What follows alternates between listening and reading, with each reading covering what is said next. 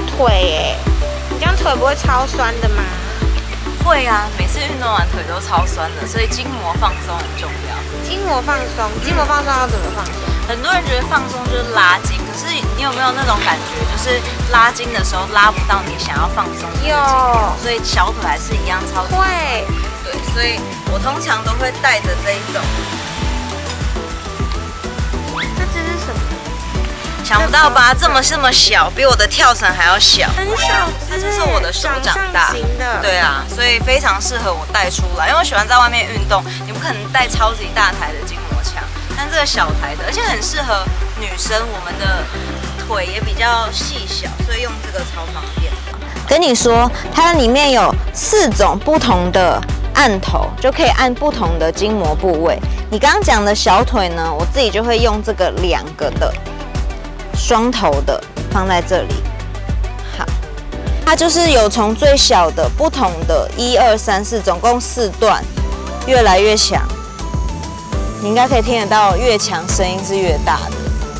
对，你就可以这样。呜真的超级酸的，而且你不赶快放松，它真的是会变硬，隔天你就是按都按不完，所以，对，所以你就可以这样子按。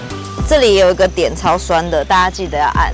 然后按的时候不只是前后撸哦，像这个筋膜枪好处就是因为它已经在帮你震动了，对不对？你要做的一件事情就是往下压，哦，往肉里面往肉，然后它就会在很深的地方这样再帮你这样子动，超爽的。你就这样子按着最酸的那一点，那如果像跑完步要嗯先拉筋，还是就直接用筋膜你？只可以直接按，直接按筋膜？直接按。那拉筋还要吗？嗯，不需要了。如果用很细的头，可能会非常痛，所以你可以用这种大头一点的，找到它以后用力拉下去。大家都很爱练臀呐、但按完臀就会可以酸很多天呢，所以一定要按呐、就这样子按进去。而且你按完你这边超酸，你还要再回来按这边，这里就不用哎、你这真的是这样可以握好它哎、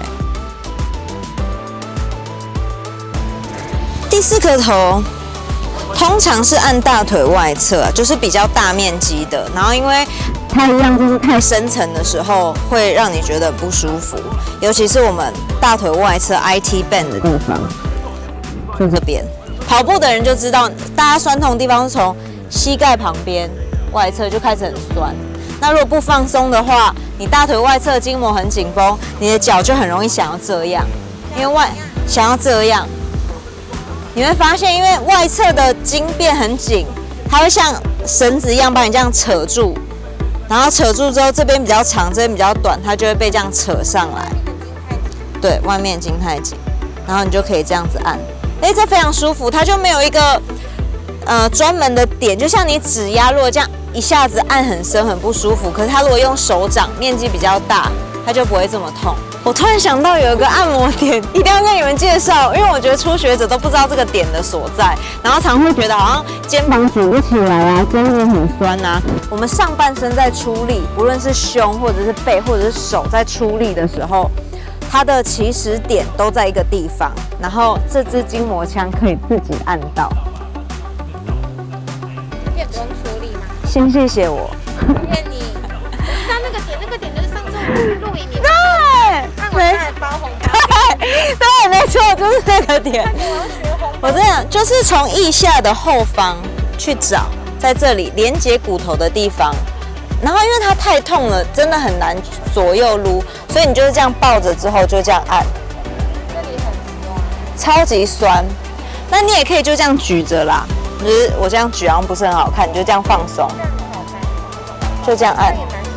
老公回来之前就会是这样。酸的，这个点就是连接骨头缝缝的地方。然后你也可以，你也可以帮别人按啦，就按这个地方。平常我们都要拿很大颗的筋膜球，然后躺在地上那乱撸乱撸。现在你就可以坐着也可以这样按，我觉得很棒。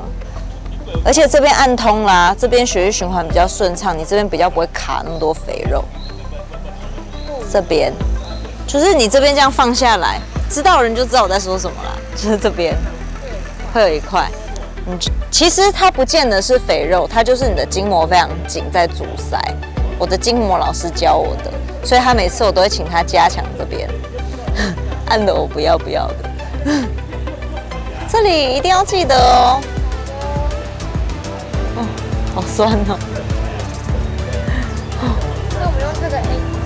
这个是下 ending。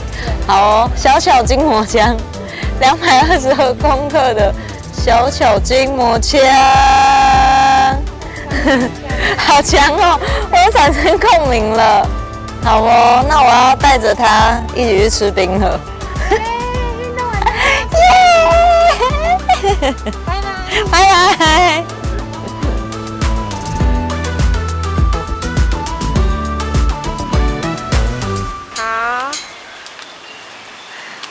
是不是？昨天爬山了，今天脚很酸，很累是不是？脚超酸的。笑死不赶快筋膜枪一下？